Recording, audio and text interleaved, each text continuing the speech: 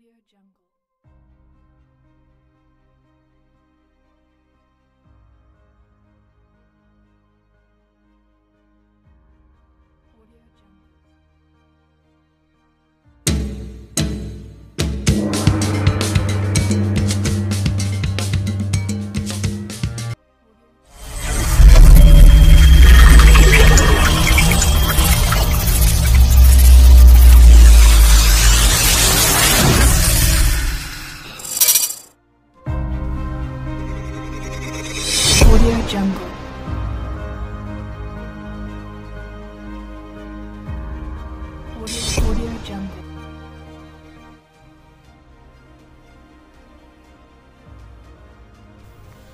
নালন্দা, ভারতের বিহার রাজ্যে অবস্থিত একটি প্রাচীন উচ্চশিক্ষা কেন্দ্র।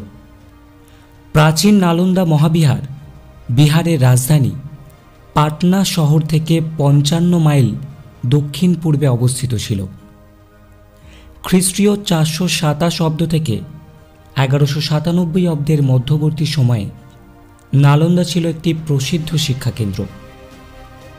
এই মহাবিহারকে ইতিহাসের শ্রেষ্ঠ প্রাচীন বিশ্ববিদ্যালয়গুলির অন্যতম বলে মনে করা হয়।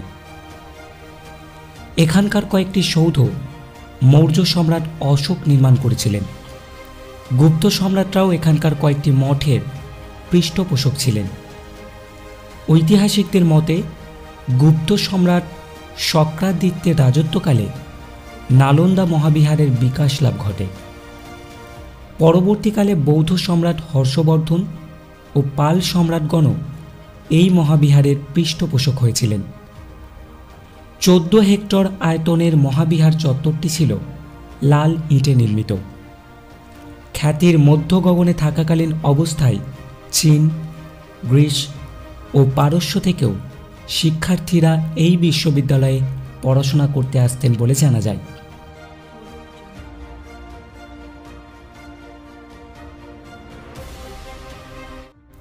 চীনা পর্যটক হিউয়েনসাং নালন্দা নামের বিবিধ ব্যাখ্যা প্রদান করেছেন।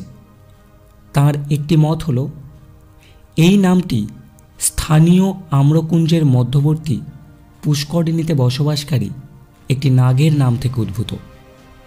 কিন্তু যে মতটি তিনি গ্রহণ করেছেন, সেটি হলো সাক্ষ্যমণি বুদ্ধ একদা এখানে অবস্থান করেন এবং তিনি অবিরত ভিক্ষা প্রদান করতেন। সেই থেকেই এই নামের উদ্ভব। সারিপুত্তর মৃত্যু হয়েছিল নালক নামে এক গ্রামে। কোনো কোনো গবেষক এই গ্রামটিকেই নালন্দা নামে অভিহিত করেন। নালন্দা পৃথিবীর প্রথম আবাসিক বিশ্ববিদ্যালয়গুলোর মধ্যে একটি এবং এটি ইতিহাসের সবচেয়ে প্রসিদ্ধ বিশ্ববিদ্যালয়গুলোর মধ্যেও একটি। এখানে দশ হাজারের অধিক শিক্ষার্থী এবং দু হাজার শিক্ষক জ্ঞান চর্চা করতেন। একটি প্রধান ফটক এবং সুউচ্চ দেয়ালঘেরা বিশ্ববিদ্যালয়টি স্থাপত্যের একটি মাস্টারপিস হিসেবে সুপরিচিত ছিল। বিশ্ববিদ্যালয়ে আটটি ভিন্ন ভিন্ন চত্বর ছিল এবং দশটি মন্দির ছিল। ছিল ধ্যান করার কক্ষ এবং শ্রেণীকক্ষ। প্রাঙ্গণে ছিল কতগুলো দিঘি ও উদ্যান। বিশ্ববিদ্যালয়ের পাঠাগারটি ছিল একটি নয়তলা ভবন, যেখানে পাণ্ডুলিপি তৈরি করা হতো অত্যন্ত সতর্কতার সাথে। ধর্মের পাশাপাশি বেদ, উপনিষদ, বিতর্ক, দর্শন, যুক্তিবিদ্যা, ব্যাকরণ, সাহিত্য, গণিত, জ্যোতিষবিদ্যা শিল্পকলা, চিকিৎসা শাস্ত্রসহ তৎকালীন সর্বোচ্চ শিক্ষা ব্যবস্থার উপযোগী আরও বিভিন্ন বিষয় সম্পর্কে নিয়মিত পাঠদান চলত এখানে। তৎকালীন জ্ঞানবিজ্ঞানের সকল শাখাতেই চর্চার সুযোগ থাকায় সুদূর কোরিয়া, জাপান, চীন, তিব্বত, ইন্দোনেশিয়া, পারস্য এবং তুরস্ক থেকে জ্ঞানী ও জ্ঞান পিপাসুরা এখানে ভিড় করতেন।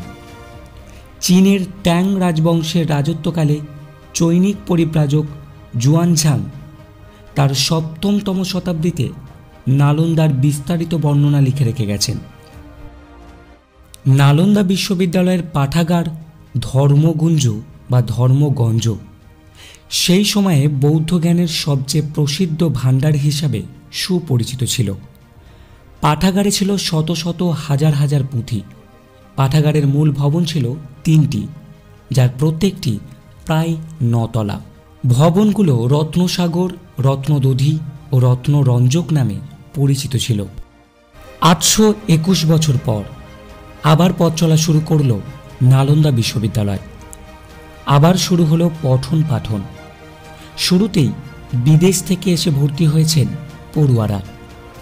ভারতের প্রাচীন ইতিহাসের সঙ্গে জড়িয়ে রয়েছে নালন্দা বিশ্ববিদ্যালয়ের নাম। আজ থেকে অন্তত ষোলোশো বছর আগে গুপ্ত রাজাদের আনুকূল্যে গড়ে উঠেছিল এই বিশ্ববিদ্যালয়। সারা পৃথিবী থেকে এখানে পড়তে আসতো ছাত্ররা। এখানে ভর্তি হতে হলে ছাত্রদের মূল ফটকে প্রথমে আটকাত রক্ষীরা। তারা সংস্কৃত ব্যাকরণ, দর্শন, কাব্য ইত্যাদি বিষয়ে ইন্টারভিউ নিত। তাতে উত্তীর্ণ হলে তবেই ভিতরে যাওয়া অধিকার মিলত। শিক্ষা শেষে সেখান থেকে বেরোলে সংশ্লিষ্ট ব্যক্তিকে দেখতে আশেপাশের গ্রামগুলি থেকে লোক ভেঙে পড়ত।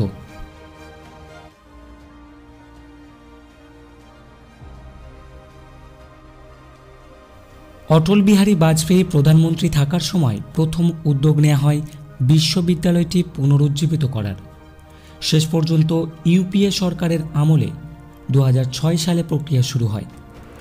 তৎকালীন রাষ্ট্রপতি এপিজে আব্দুল কালাম ছিলেন এর হোতা। দু হাজার দশ সালের আগস্ট মাসে সংসদে পাশ হয় নালন্দা বিশ্ববিদ্যালয় বিল। তৎকালীন রাষ্ট্রপতি প্রতিভা পাটিলের সম্মতির পর তা আইনে পরিণত হয়। ওই বছরের পঁচিশে নভেম্বর থেকে কাজ শুরু হয়।